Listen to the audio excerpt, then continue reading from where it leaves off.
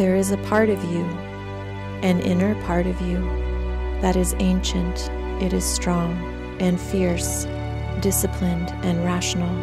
This part of you is a protector, a provider, loyal and honest, a guardian and in purpose, power, and skillful competition. What would it take to bow to this part of you?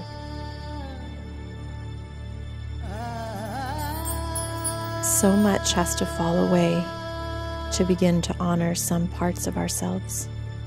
So we come into our hearts, we soften and let go, we forgive and cultivate deeper awareness.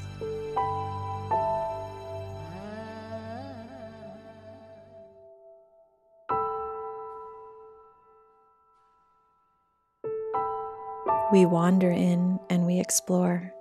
We stay curious. We realign. We connect more deeply with our heart. We begin to exalt, to honor, to come into a more whole, healed, and holy place. This journey will change you from the inside out.